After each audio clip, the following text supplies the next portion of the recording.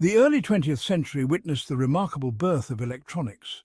Inventors and engineers brimming with new ideas eagerly sought ways to connect electrical components in increasingly sophisticated arrangements. This burgeoning field demanded a reliable and efficient method for building circuits.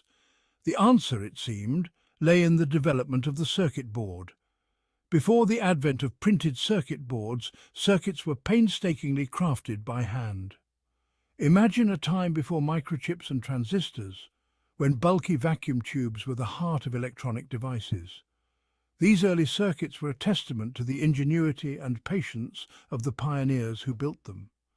The history of circuit boards is a fascinating journey from rudimentary connections to the intricate designs we see today. It is a story of innovation driven by the need for more compact, reliable and ultimately more powerful electronic devices. In the early days, constructing a circuit was a labour-intensive process. Engineers meticulously connected individual components using lengths of wire and solder. This method, known as point-to-point wiring, required a high level of skill and precision. Each wire had to be carefully cut, stripped and soldered to the correct terminal. Soldering irons, heated by flames or electrical resistance, were the tools of the trade. These early soldering irons, while functional, were often cumbersome and difficult to control. The solder itself, typically an alloy of lead and tin, was melted and used to create a conductive bond between wires and component leads. This meticulous process, while effective, had its drawbacks.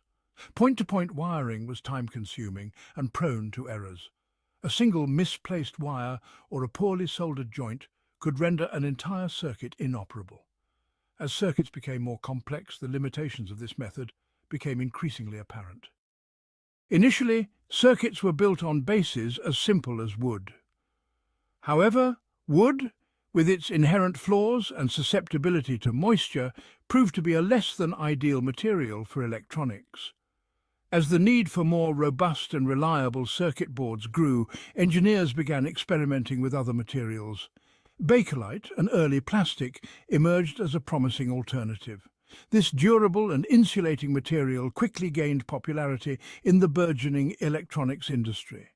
Metal, particularly aluminum, was also used in applications where its strength and heat dissipation properties were advantageous. The choice of substrate depended largely on the intended application of the circuit. Wood, with its low cost and ease of workability, was often used in simple devices. Bakelite, with its superior insulating properties, found its niche in radios and other consumer electronics. Metal, on the other hand, was often reserved for industrial and military applications where durability and heat resistance were paramount. Finding their footing, early applications of circuit boards. The first circuit boards, rudimentary as they were, played a crucial role in the development of early electronic devices. Radios, a marvel of the time, were among the first consumer products to incorporate this new technology. The military, quick to recognize the potential of electronics, used circuit boards in radar systems and other critical equipment during World War II. As the demand for electronics grew, so too did the need for more efficient and reliable circuit board manufacturing methods. Companies began to specialize in the production of circuit boards, supplying them to manufacturers of radios, televisions and other electronic devices. These early circuit boards, while primitive by today's standards, represented a significant leap forward in electronics technology. They provided a more organized and reliable way to connect electronic components, paving the way for the development of increasingly complex and sophisticated devices. From rudimentary to revolutionary, the legacy of early circuit boards. The early pioneers of circuit board technology may not have envisioned the ubiquitous role their creations would play in the 21st century. From the smartphones in our pockets to the computers that power our world, circuit boards are the unseen foundations of our digital age. These early efforts, fueled by innovation and necessity, laid the groundwork for the printed circuit boards that would revolutionize electronics. The challenges they faced and the solutions they devised provided invaluable lessons for the engineers who would follow in their footsteps. The story of the circuit board is a testament to human ingenuity and our relentless pursuit of progress. It is a journey that began with simple soldered connections and evolved into the intricate, miniaturized marvels of modern electronics.